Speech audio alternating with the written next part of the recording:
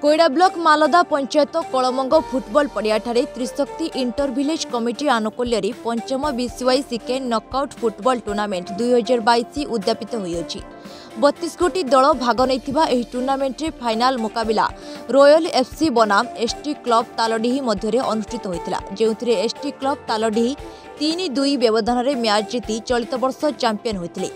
ଉଦ୍ଯାପନୀ ଉତ୍ସବରେ ମୁଖ୍ୟ ଅତିଥି ଭାବେ ବିଶିଷ୍ଟ ସମାଜସେବୀ କୁଶ ଆପଟ ତଥା अन्य अतिथि मध्य कोईडा ख जिला परिषद सदस्य अशोक कुमार नायक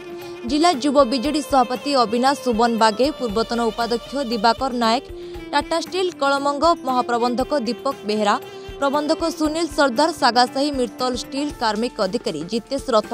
ବାଦଲ ବାରିକ ପ୍ରମୁଖ ଯୋଗଦେଇ ପ୍ରଥମେ ଖେଳ ପ୍ରାରମ୍ଭ କରିଥିବା ସ୍ୱର୍ଗତ ନଦିଆ ନାୟକଙ୍କ ଫଟୋଚିତ୍ରରେ ପୁଷ୍ପମାଲ୍ୟ ଅର୍ପଣ କରି ଖେଳାଳି ଓ ଗ୍ରାମବାସୀଙ୍କୁ ସମ୍ବର୍ଦ୍ଧନ କରିଥିଲେ ପରେ ପୁରସ୍କାର ବିତରଣ ଉତ୍ସବରେ ବିଜେତା ଦଳକୁ ଏକସ୍ତରୀ ହଜାର ଉପବିଜେତା ଦଳକୁ ଏକାବନ ହଜାର ତୃତୀୟ ସ୍ଥାନ ଦଳକୁ ଏକତିରିଶ ହଜାର ଚତୁର୍ଥ ସ୍ଥାନ ଅଧିକାରୀ ଦଳକୁ ପଚିଶ ହଜାର ନଗଦ ସହ ଟ୍ରଫି ସହ ଖାସି ପ୍ରଦାନ କରିଥିଲେ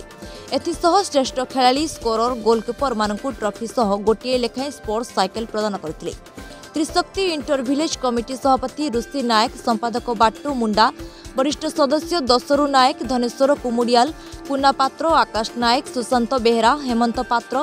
ବାବୁଲ ନାୟକ ପ୍ରମୁଖଙ୍କ ସହ ଅନ୍ୟ ଅନ୍ୟ ସଦସ୍ୟମାନେ ଟୁର୍ଣ୍ଣାମେଣ୍ଟ ଆୟୋଜନ ଓ ଖେଳ ପରିଚାଳନାରେ ସକ୍ରିୟ ସହଯୋଗ କରିଥିଲେ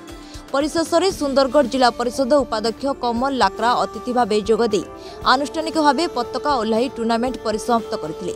ଭାଷ୍ୟକାର କ୍ଷୀରୋଦ ଗିରି ଓ ବୁଲବୁଲ ଆପଟ ସମ୍ପୂର୍ଣ୍ଣ ଧାରା ବିବରଣୀ ପ୍ରଦାନ କରିଥିଲେ ବ୍ୟୁରୋ ରିପୋର୍ଟ ସକାଳ ଖବର